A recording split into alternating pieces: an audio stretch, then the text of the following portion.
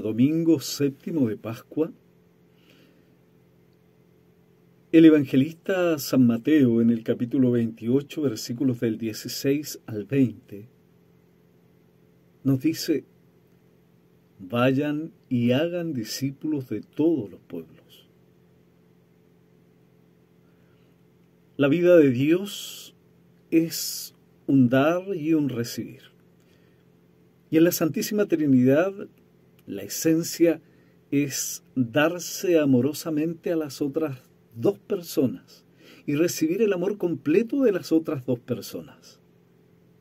Es un círculo eterno de amor entre las tres personas divinas, Padre, Hijo y Espíritu Santo.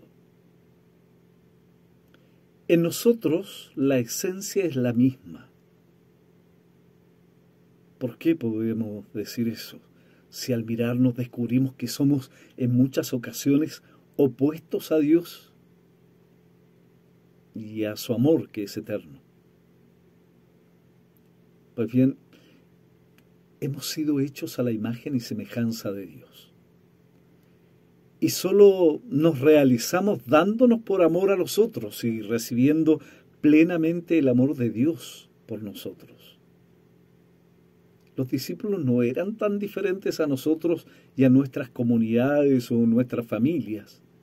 No estaban todos siempre de acuerdo. Algunos dudaban y eran incapaces de creer inmediatamente en las cosas de la fe no eran tan distintos. Si nos pusiéramos en el lugar de alguno de los once discípulos, aun temerosos de aquellos que habían arrestado y crucificado al Maestro, sintiendo la desolación de estar sin su presencia, vacilantes, en esa posición escuchando ahora el llamado a realizar la misión que Jesús nos pide, vayan y enseñen o hagan discípulos a todas las naciones, a todos los pueblos.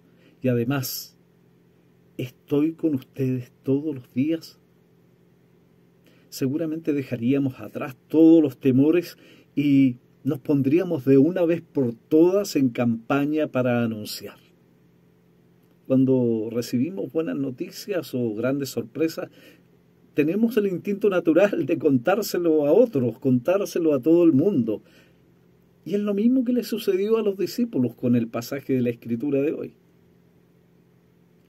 Ellos fueron transformados a contar a otros la buena noticia que habían recibido.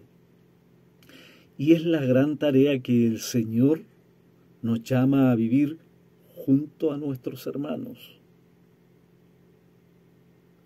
fortalecer nuestra iglesia con nuevos bríos, con una visión que no es nueva, porque es la visión de Cristo que tal vez hemos olvidado.